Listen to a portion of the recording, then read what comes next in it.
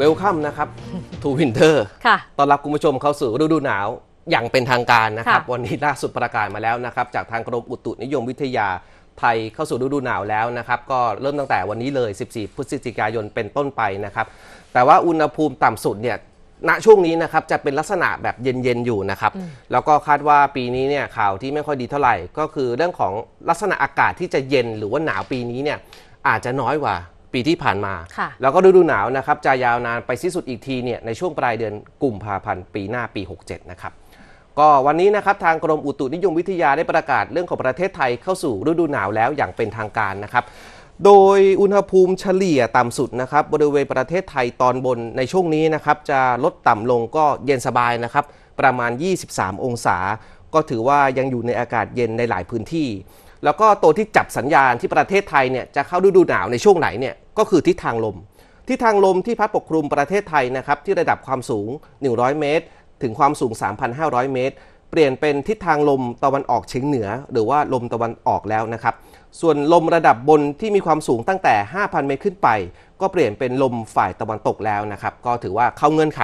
การเข้าสู่ฤดูหนาว อย่างเป็นทางการนะครับ ก็แสดงความยินดีด้วยนะครับ ใช่ค่ะ อย่างไรก็ตามนะครับ ช่วงเริ่มต้นของฤดูหนาวปีนี้นะครับ บริเวณประเทศไทยตอนบนเนี่ยอาจจะยังคงมีฝนตกอยู่เล็กน้อยในบางช่วงนะครับ แต่ว่าภาคใต้เนี่ยก็เป็นช่วงฤดูมรสุมของภาคใต้อยู่แล้วนะครับ แล้วก็คาดว่าปีนี้เนี่ยอากาศเรื่องของความหนาวเย็นจะน้อยกว่าปีที่ผ่านมานะครับ แล้วก็ฤดูหนาวปีนี้เนี่ยจะสิ้นสุดลงนะครับฤดูเนี่ยก็คือกุมภาพันธ์ปีหน้า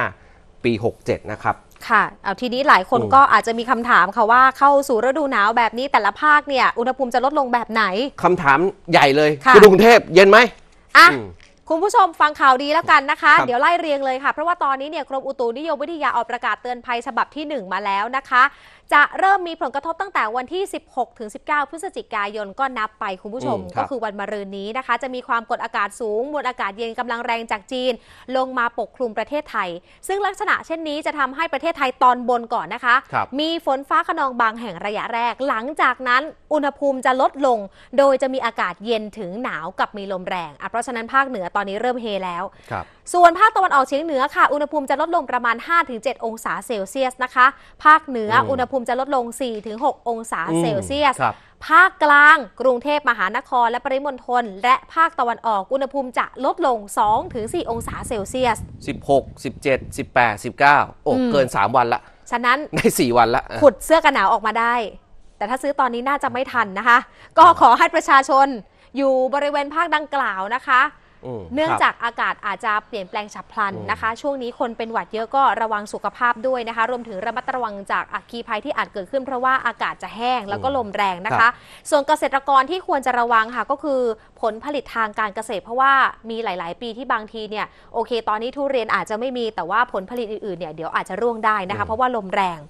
ส่วนมรสุมตะวันออกเฉียงเหนือนะคะกำลังค่อนข้างแรงค่ะ พัดปกคลุมอ่าวไทยภาคใต้และทะเลอันดามัน ทำให้ตอนนี้ภาคใต้บอกว่าหลายคนโอ้โห ยิ่งเหนือหนาวเท่าไหร่ ภาคใต้ฝนก็จะยิ่งตกอืมหนักครับนะคะ ขอให้ประชาชนบริเวณภาคใต้ระมัดระวังอันตรายจากฝนตกหนักถึงหนักมาก ฝนที่ตกสะสม ซึ่งอาจทำให้เกิดน้ำท่วมฉับพลันน้ำป่าไหลหลาก โดยเฉพาะพื้นที่ลาดเชิงเขาใกล้ทางน้ำไหลผ่านและพื้นที่ลุ่มด้วยนะคะ ถ้าหากว่าคุณผู้ชมอยากจะอัปเดตข้อมูลต่างๆ จากทางกรมอุตุนิยมวิทยา ติดตามได้ที่เว็บไซต์ของกรมอุตุนิยมวิทยา หรือว่าสายด่วนพยากรณ์อากาศหมายเลข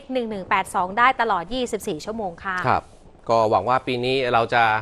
หนาวอย่างภาคภูมินะครับ แต่ค่ะแหมผมหวั่นใจเหลือเกิน เพราะว่ากรมอุตุเนี่ยใช้คำว่า ปีนี้เนี่ยโอกาสที่จะเย็นน้อยกว่าอืมปีที่ผ่านมานะครับค่ะอะคุณผู้ชมเดี๋ยวช่วงนี้พักกันสักครู่นะครับ ช่วงหน้ากลับมาตามต่อสถานการณ์ในต่างประเทศครับ